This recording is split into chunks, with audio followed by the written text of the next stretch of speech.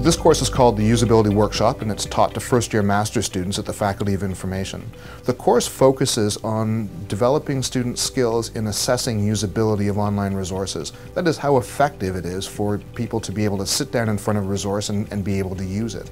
And in today's networked world, this is an absolutely fundamental skill for information professionals.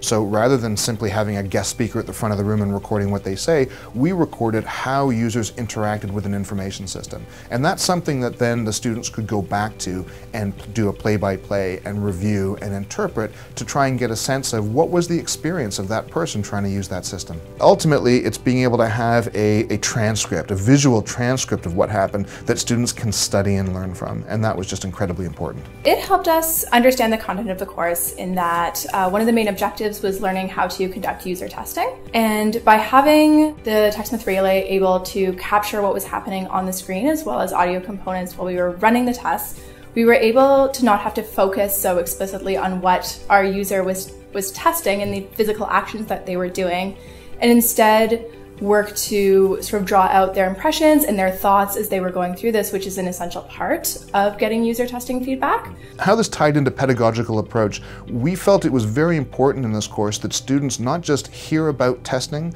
not just that they learn about it, but that they actually do it. And that, that means practicing the skill in real time. And this software allowed us to do that. Usability testing is a collaborative exercise. It cannot be done well by one person. So students work in teams to design, to enact the test, and most importantly, to interpret it. And that's where the software was particularly useful because it was stored and available. Students could access it independently, they could access it together, they could review it multiple times, debate the meaning of what it is they saw, and then do their analysis analysis? So it definitely helped us to work cooperatively as a group in that it uh, the sharing component of it allowed for all of the members of our group to work with the files created without having to be in the same physical space. So having it be accessible online really helped us work cooperatively with it and all able to pull our weight in the group without any undue stress. The student experience using the software, we found that was probably the best part of all. Students were able to share what they did,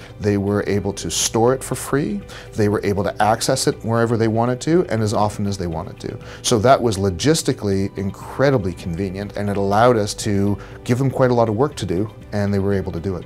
Uh, I was happy with it. There were no issues that really interrupted the fluidity of the session. Getting access to the material afterwards was easy, running the files was fine yeah, overall, very happy.